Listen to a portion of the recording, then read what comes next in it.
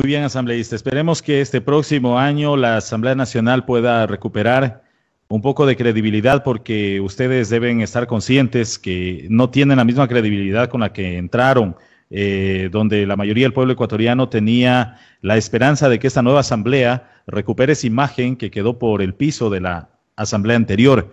Entonces quedan pendientes, eh, no sé, creo que la productividad de la asamblea no fue eh, la que se esperaba, precisamente por estar ventilando todo este tipo de casos que se han dado durante estos meses, eh, siete meses que ustedes han estado eh, en esta nueva administración, ¿no? Mire, es lamentable, pero hemos tenido que dedicarnos a hacer el trabajo que dejó pendiente la anterior legislatura, para comenzar. Una legislatura que salió eh, deslegitimada, yo salvo allí, sí, a los 31 compañeros que formaron la bancada de, principios de la Revolución Ciudadana, el resto votó siempre junto a Lenín Moreno en, contra de las necesidades de la patria. Pachacuti, Izquierda Democrática, creo, Partido Social Cristiano, Independientes, todos esas cinco bancadas juntas votaron a favor de leyes que eran lesivas al pueblo ecuatoriano, se dedicaron al reparto, a la compra de conciencias y de votos eh, manejado desde la presidencia de la República, porque no puede haber compra de asambleístas ni asambleístas dueños de cargos que le corresponden a la función ejecutiva, asambleístas poniendo directores, gerentes de hospitales, eh, de contratos, etcétera. Eso es el reparto. ¿Desde dónde viene la corrupción? Desde la presidencia de la República. Se ha tratado de desviar la, imagen y la, comunicación y la atención hacia lo que es la Asamblea Nacional. Pero miremos, si hay asambleístas corruptos es porque existe un corruptor y ese corruptor se llama Presidencia de la República del Ecuador y estuvo en manos de Lenín Moreno y en esta ocasión, si es que hay asambleístas que tienen cargos en el territorio, que tienen cargos en las provincias, que tienen hospitales y demás, es porque aquí los repartió el señor Guillermo Lazo. Muy bien, asambleísta. Para culminar, quisiera eh, un criterio breve de, en honor al tiempo, ¿no? Se nos acaba a las siete ya el espacio, eh, de un tema pendiente también que queda para tratarse en el siguiente año, que es este informe sobre la ley de interrupción del embarazo por violación. Eh, entiendo yo que es un mandato de la Corte Constitucional el que deben dar trámite. Explíquenos cómo quedó ese, ese caso.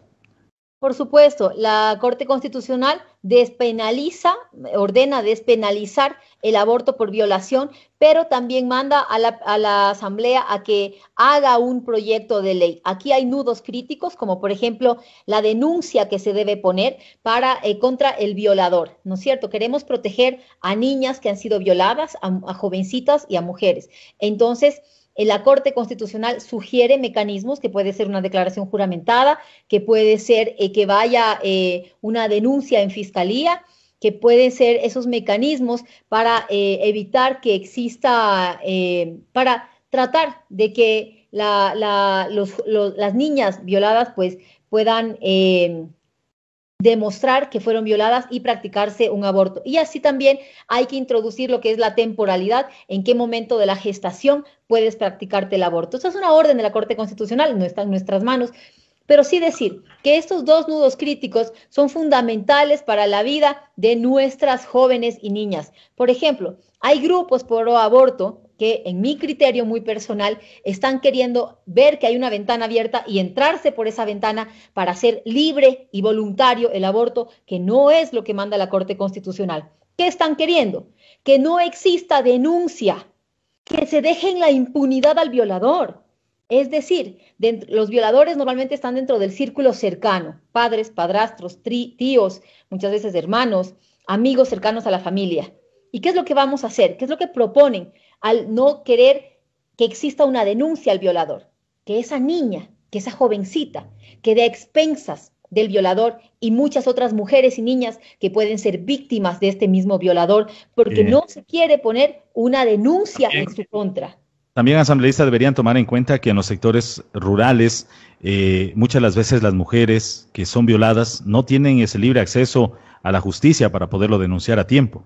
Entonces aquí lo que cabe es hablar sobre la violación, porque el problema aquí no es el embarazo. Esa es la causa, es la consecuencia, es la consecuencia, perdón, no la causa. La causa es la violación y la consecuencia es el embarazo. quitar el embarazo no va a cambiarte pues la violación.